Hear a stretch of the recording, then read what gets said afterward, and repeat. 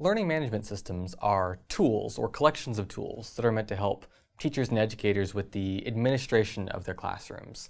They take a lot of things that traditionally we may have done in person or done by hand and put them online or put them on a computer in order to make things easier or to help with distributed classrooms like the ones we have here in the OMS program. They might have things like a gradebook or a facility for collecting assignments or a workflow for grading assignments. By now you're very familiar with one particular learning management system, which is T-Square. You've seen T-Square's assignment system, its announcement system, its resources system, its test and quizzes system maybe.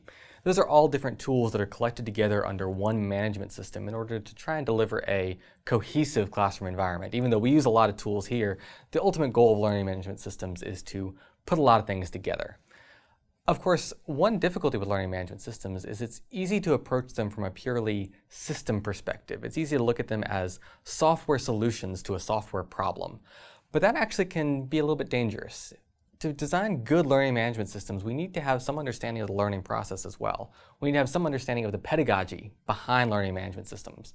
We need to have some understanding of the learning behaviors in which students will engage while they're using our systems.